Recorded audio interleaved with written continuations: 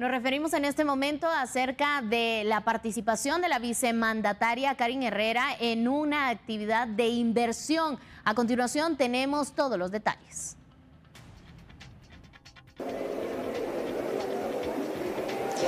Así es, compañeros, estimado televidente, buenas tardes. Más de 20 países están interesados en invertir en el país, esto como parte de la actividad empresarial Business Future of the Americas, en donde pues se estará brindando mayor información para que países puedan invertir en Guatemala.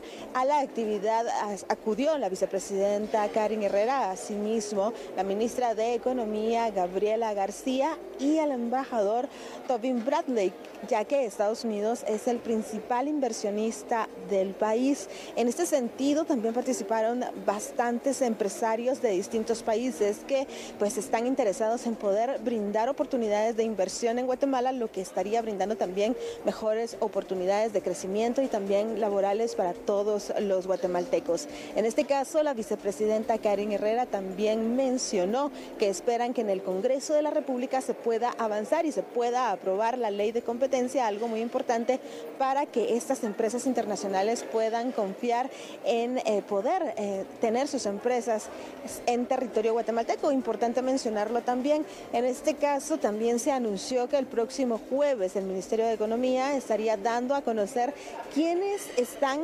interesados en invertir a corto plazo. Allí se darán a conocer los nombres de las empresas que estarán dando sus servicios en el país. Todas estas empresas son internacionales y hasta este momento pues no se han revelado mayores datos. Sin embargo, se espera que alrededor de 14 empresas puedan empezar a trabajar en Guatemala, de esta forma generando mayor cantidad de empleo, ya que se busca reducir la brecha que hay en los municipios en donde aún no, se ha, no ha llegado la inversión. Asimismo, se busca mejorar la calidad de vida de todos sus habitantes. Es parte de la información que se genera desde la antigua Guatemala con imágenes de mi compañero Saúl Flores. Yo retorno con ustedes a Estudios Centrales.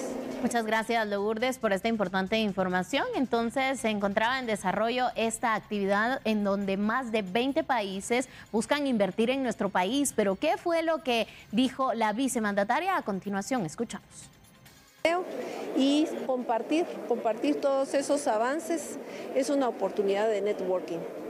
Vicepresidente, si nos puede comentar acerca de su disertación, usted mencionó la ley de competencia tan importante.